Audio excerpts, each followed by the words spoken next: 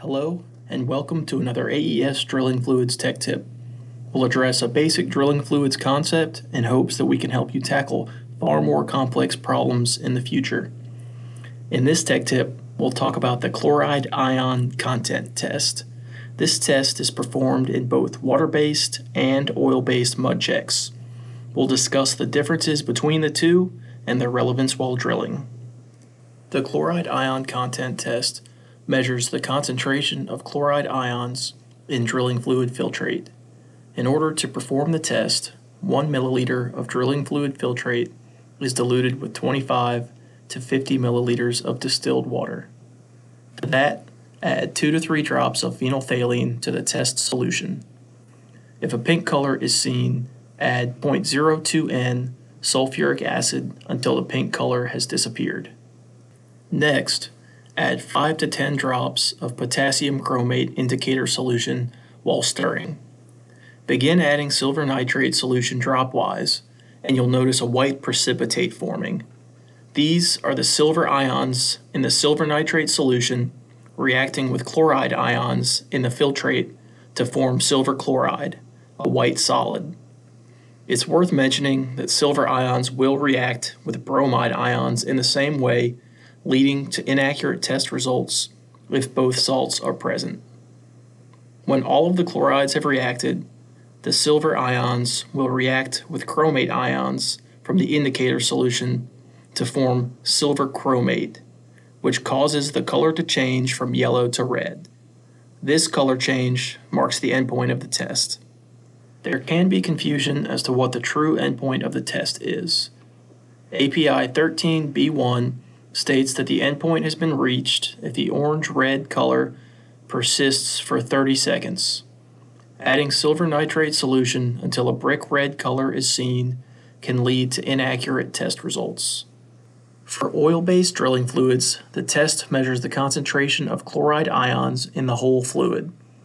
A prerequisite for the test calls for the test sample to be acidic with a pH below 7.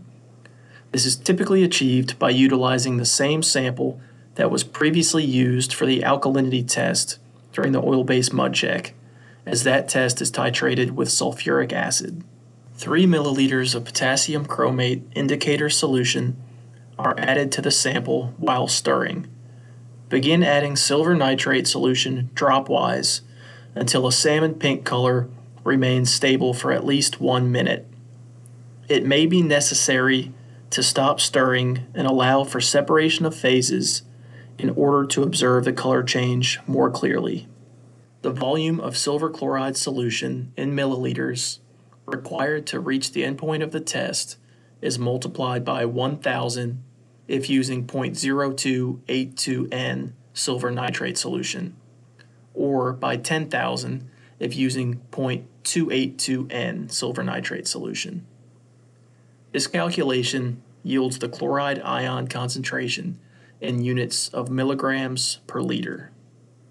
For an oil-based mud, the chloride value in the whole mud is converted to water phase salinity, or the chlorides of only the brine phase. Water phase salinity is usually reported in parts per million, although sometimes it's referenced as weight percent salt or in milligrams per liter. Chlorides are an indicator of the water activity of the fluid, an important consideration to limit water movement into and away from the formation in sensitive wells. Chlorides can also indicate a water flow by a drop in high salinity fluids or an increase in low salinity fluids. The chloride ion content test, while simple, can provide insight to what's taking place downhole and the necessary measures to take thereafter. That concludes this AES Drilling Fluids Tech Tip. Stay tuned for the next one, and if you want to learn more, have a listen to the Flowline, our podcast. And if you want to improve your drilling fluid performance, please reach out to us at AES Drilling Fluids, where better fluids equal better wells.